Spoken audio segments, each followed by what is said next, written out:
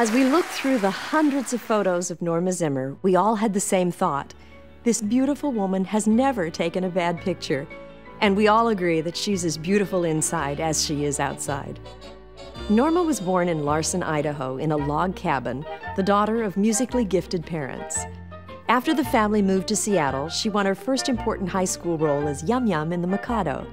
It was also in Seattle that she met Randy Zimmer, a handsome young man and an excellent skier.